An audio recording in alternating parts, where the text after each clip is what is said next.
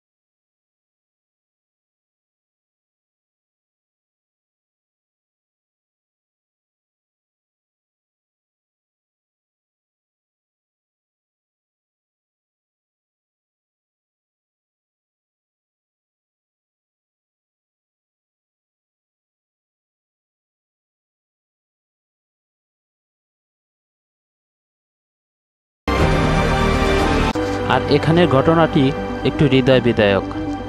কারণ এই মহিষের বাচ্চাটি একটু অসুস্থ হয়ে পড়েছে, সেই সুযোগে কমোডো ড্রাগন সেই মহিষের বাচ্চাটির উপর আক্রমণ করছে।